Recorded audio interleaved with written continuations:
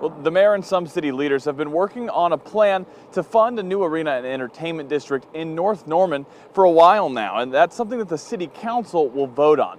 But some members brought up a resolution for tonight's meeting that could bring it to a special election.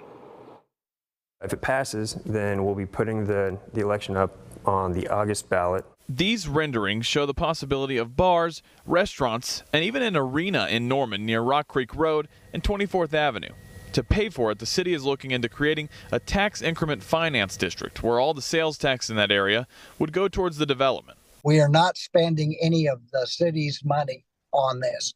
This is all, all the money that's being spent in here is uh, future revenues from sales tax and property tax. For now, the Planning Commission will vote on Thursday, June 13th, and then City Council next. But that could change today.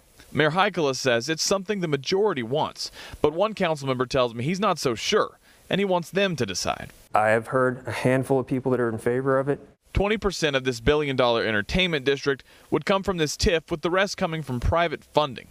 Mayor Heikkila calls tonight's vote a delay, but City Councilman Michael Nash thinks it should be OU and the developer's responsibility to convince people. We're giving this a shot because if it's bring, brought up directly in front of me, I'm going to simply vote it down because that's the will of the people that I represent. So, what happens if it goes to a vote of the people and they say no? That question might have to be answered after tonight. I hope that, that, that council sits down and disregards both of them and that we just go on. There's also a resolution up tonight on if they should take a new public opinion poll on the same subject. Uh, this, this meeting starts here at 6.30 here at City Council. In Norman, Colby Terrell, KOCO 5 News.